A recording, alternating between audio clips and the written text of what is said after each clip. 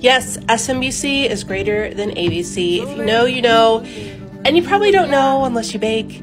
But trust me on this one. Today I'm working with neither. I've been making a series of dummy cakes for a new big project that I'm working on to be revealed soon enough, though not as quick as I'd like.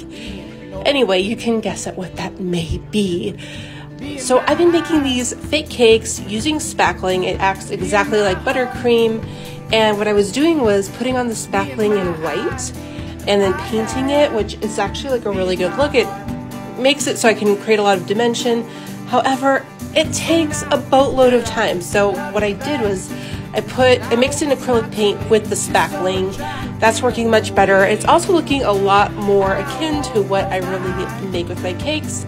We got some magnolias, so pretty. I think it turned out great. Tell me what you think in the comments.